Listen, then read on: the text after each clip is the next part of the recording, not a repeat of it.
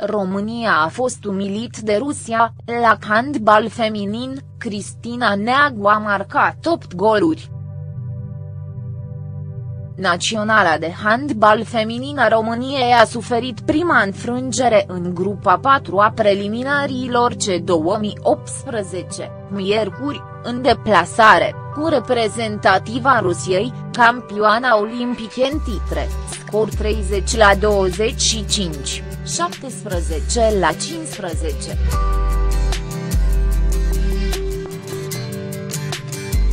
Pentru România au marcat Cristina Neagu 8 goluri, Pintea 3, Buceschi 3, Dragut 3, A.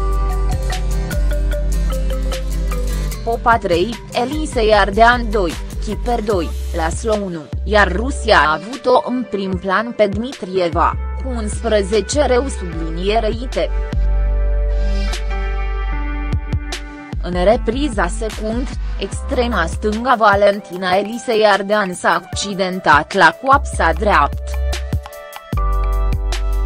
În urma rezultatului de la Togliatti, România sublinierei Rusia cu primele două locuri, ambele cu câte patru puncte, scrie News.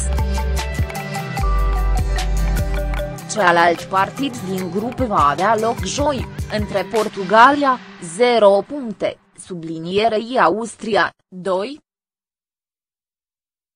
Meciul retur dintre România sublinierei Rusia va avea loc duminic, la BT Arena din Cluj-Napoca.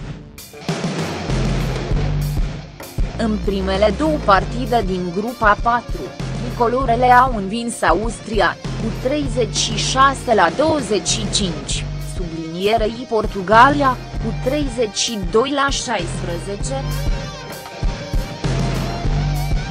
Programul următor al naționalei tricolore, antrenat de Ambros Martin, este Austria-România, 31 mai, sublinierei România-Portugalia, 3 iunie.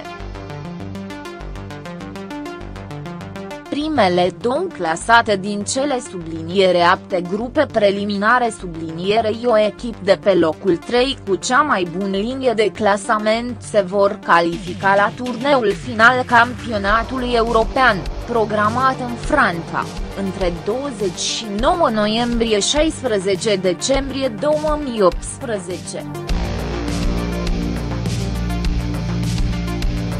La ultima ediție a campionatului european, în 2016, România s-a clasat pe locul 5, titlul continental revenind Norvegiei.